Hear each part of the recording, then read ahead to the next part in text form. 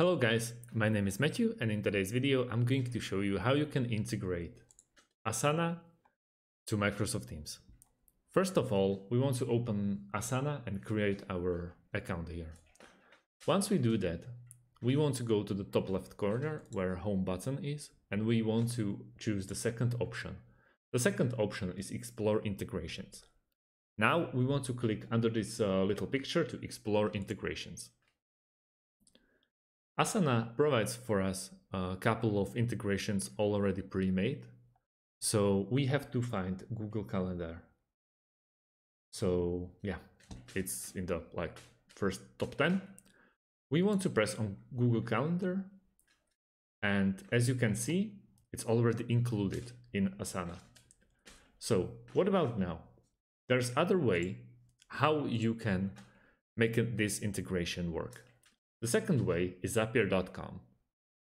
It's actually a very easy way. So we want to also create an account here and we want to go to the top left corner and we want to make a zap. We click and now you can name your zap. So for example, Asana to, ah, sorry, Google Calendar. Yeah, we just named our, our zap. Well, back to our, our goal here. Now uh, we want to start with input app. In our, uh, in our case, it's Asana. So we are going to use this engine to go and press Asana. Now we have to choose an event. What will happen to trigger it? For example, if in Asana new user come, what will happen? So we want to continue. Now you can uh, choose your account. So for example, in my case is this Asana account.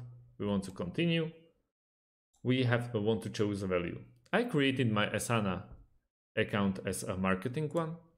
So you can pick from which view, well, which field of uh, field of workflow you'll pick. And now you can test the trigger, but you don't actually have to. Now, action number two, it's an outcome. For example, it's Google Cal Calendar.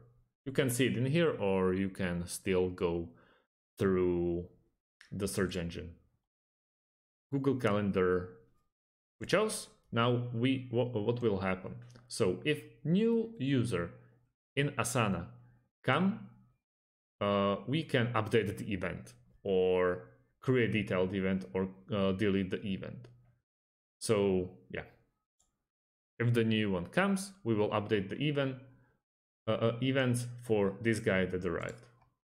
And now just sign in with the Google Calendar and everything's done. So thanks for watching and see you in the next video.